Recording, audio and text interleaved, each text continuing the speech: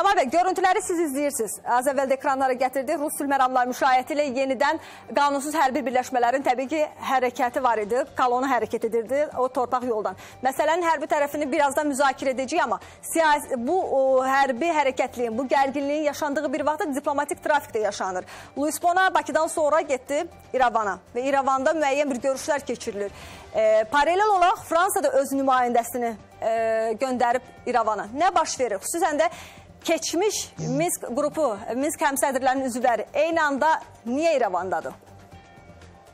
Çox sadə. Artıq Cənubi Qafqazda təbii ki, e, bu problem ətrafında geosiyasi rəqabət qızışır.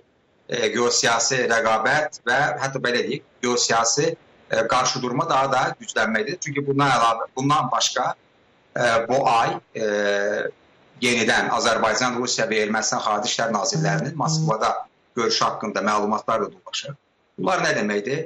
Artıq ə, ə, həm tərəflər indi orada da vurğuladınız Fransanın ə, ATƏT-də keçmiş o həmsədri Ermənistana səfər etdi. Avropa İttifaqının nümayəndəsi toyluqlar Azərbaycana gəldi. Luis Bona ABŞ-ın Cənubi Qafqaz məsələləri üzrə. Bütün bunlar əslində proseslərin bundan sonra da daha da qızışacağını, yəni belə deyək, daha da geosiyasi rəqabətin Rusiya və Qərb ölkələri arasında geosiyasi Avropa İttifaqı, ABŞ və Rusiya arasında geopolitik rəqabətin daha da güclənəcəyini e, bu diplomatik trafik e, bu e, regiona səfərlər göstərir. Çünki əvvəl Lavrov gəldi Azərbaycana, ondan sonra e, bilirsiniz ki, həm Fransa, həm Avropa İttifaqı, həm də ABŞ-ın nümayəndələri gəldi. ABŞ-ın nümayəndəsi artıq Yerevana getdi. E, son hadisələr kontekstə yanaşaq ayın 5-də həmin o Xankəndi e, xəlifəli tursu istiqamətində hadisələri nəzərə alsaq, artıq çünki artıq yenidən bir eskalasiya ehtimalı hər an nəsə baş verən.